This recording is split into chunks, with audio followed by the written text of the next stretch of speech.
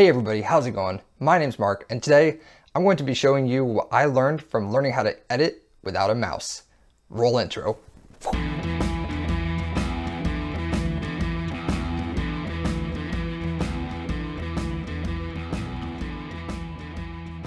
Alright, so the first tip I have for you guys is to learn to use that number pad.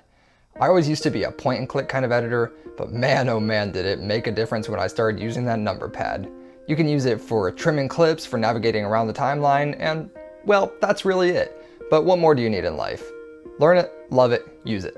Highly recommend. Alright, so number two was a real surprise to me. And this was that there was a whole tool inside of Premiere I never used and I didn't even know was there. So this is the trim mode. So in trim edit mode, you can adjust the clip's in or out points using the JK and L keys or the number pad. It's pretty nifty.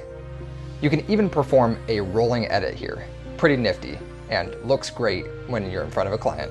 Alright, for number three, it just looks impressive in front of clients. This is something I didn't really expect, but when you're able to whiz across the keyboard like that, people will look at you differently. They really take you seriously, and it makes them think that you know your salt, even if maybe you're fudging it a little bit.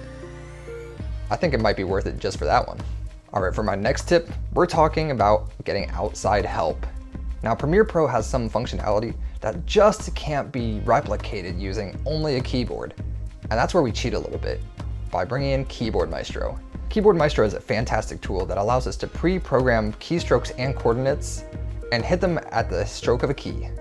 This is really useful for reaching those places that you just can't get to inside of Premiere, and it allows you to cheat your way through a little bit. All right, the next thing I learned on this little journey is that there is so, so many things inside of Premiere Pro that can be keyboard customized.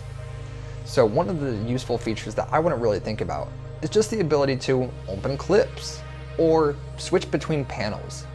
Being able to navigate between these interfaces can be tricky at first, but once you have keybinds set up to switch between different panels, open clips, place them on the timeline, things like that, it just opens up a new realm of possibilities. Alright, the last thing I learned trying to learn how to edit without a mouse is that sometimes you just can't do it. The mouse is a really invaluable tool, and learning how to edit keyboard only is also a valuable tool but they're just tools and they're really meant to be used in conjunction with each other. There are certain aspects of editing that just can't be done using only a keyboard, and that's really where the mouse comes in.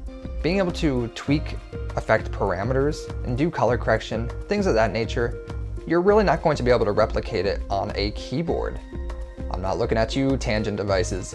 I know you got your color correction panels, but it's still not the same. Really, you need to have that mouse there.